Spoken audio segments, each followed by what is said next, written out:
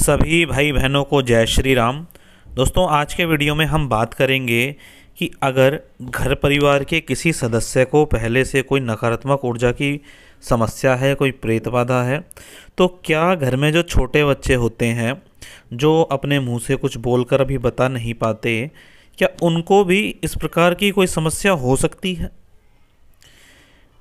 जब वो रोते हैं, बिना बात के या खाना पीना बंद कर देते हैं, बच्चे दूध नहीं पीते या कुछ खाते पीते नहीं हैं तो माँ बाप को इस तरह की बहुत टेंशन हो जाती है कि कहीं मेरे बच्चे को तो इस प्रकार की कोई समस्या नहीं है। तो आज के वीडियो में हम ये जानेंगे कि क्या बच्चों को समस्या होती है और अगर होती है तो किस प्रकार के उपाय करने चाहिए। देखिए, ऐसे बच्चे जो अभी बोल नहीं पाते जिनके अभी कर्म शुरू नहीं हुए, यानी कि जो अपनी बुद्धि से किसी प्रकार का कपट नहीं कर सकते। ऐसे बच्चों पर डायरेक्ट प्रेत बाधा नहीं लगती, क्योंकि प्रेत बाधा किसी न किसी कर्म बंधन के कारण ही किसी व्यक्ति को परेशान करती है। अगर किसी को लगता है कि वो बेवजह किसी इस तरह की चीज़ से परेशान हो गया है तो यहाँ इस वीडियो के माध्यम से हम जवाब दे रहे हैं कि कोई ऐसा कर्म बंधन शेष रह गया जो व्यक्ति आत्मा जन्म नहीं ले पाई, उन्होंने आपको एक नकारात्मक ऊर्जा के रूप में परेशान करना शुरू कर दिया। तो यहाँ इस चीज़ का जवाब बहुत मैं क्लियर कट दे दूँ कि जो बच्चे अभी कर्म बंधन के अंतर्गत नहीं आए हैं, उनको इस प्रकार की समस्या नहीं हो सकती। चाहे वो रात को रोते हों, दूध पीना बंद कर देते हों, खाना पीना बंद कर देते हों, इसमें से किसी प्रकार की समस्या को उनसे जोड़ के ना देखें। लेकिन फिर भी माँ बाप के मन में एक प्रश्न रहता है घर परिवार के लोगों के मन में एक प्रश्न रहता है कि कि अपने बच्चों के लिए कुछ ऐसा करा जाए कि वो इन सभी चीज़ों से सुरक्षित रहें। और जब भी उन्हें कोई दिक्कत होती है तो वो नकारात्मक ऊर्जा से ही इसे जोड़कर देख लेते हैं, अगर पहले से घर में कोई समस्या है तो। तो बच्चों को क्या हो सकता है? बच्चों को देखो, नज़र दोष लग सकता है। ज़्यादा से ज़्यादा झपट्टा लग सकता है। झपट्टा लगने का मतलब ये है कि थोड़ी बहुत दिक्कत हो सकती है, क्षणिक दिक्कत। इसका मतलब ये नहीं है कि उसके शरीर में कोई प्रेत रम गया। क्षणिक दिक्कत हो सकती है। इसके लिए आपको बच्चे के लिए क्या करना चाहिए? अपने घर परिवार में क्या उपाय करने चाहिए?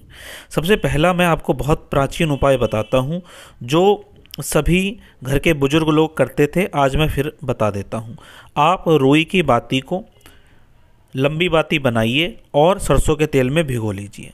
और बच्चे के सर से लेके पैर तक इसे तीन बार, सात बार या इक्कीस बार उतारिए। बच्चों को ज़्यादा दिक्कत नहीं होती, इसीलिए तीन बार उतारना ही बच्चों के लिए बहुत होता है।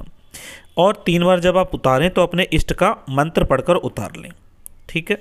और उसके बाद इसे चिमटे पर रखकर जला दें, इससे बच्चे का नज़र दोष हट जाता है। इस जो रुई की बाती से हम नज़र दोष का उतारा करते हैं, इसका क्या मतलब होता है? कि बच्चे का जो और होता है, वो थोड़ा कमज़ोर होता है। बच्चे के प्रति सभी लोग बहुत जल्दी अट्रैक्ट हो जाते हैं तो और थोड़ा मलिन हो जाता है। और जो रुई की बाती से हम करते हैं सरसों के तेल में भिगो के तो बच्चे का और बिल्कुल साफ़ हो जाता है और और साफ़ होने के कारण आपका जो बच्चा होता है हंसने खेलने लगता है और कोई छोटी मोटी उसे परेशानी हो गई होती है तो वो समाप्त हो जाती है। इसके अलावा हम बच्चे के लिए क्या कर सकते हैं?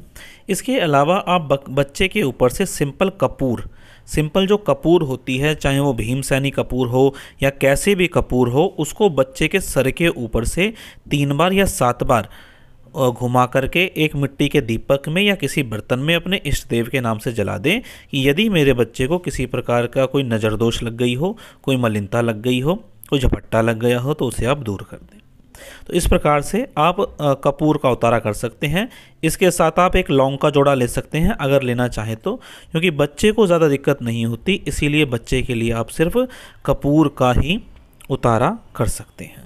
इसके अलावा जो बच्चे का जीवन जुड़ा होता है, वो सबसे ज़्यादा जुड़ा होता है उनकी माता के साथ।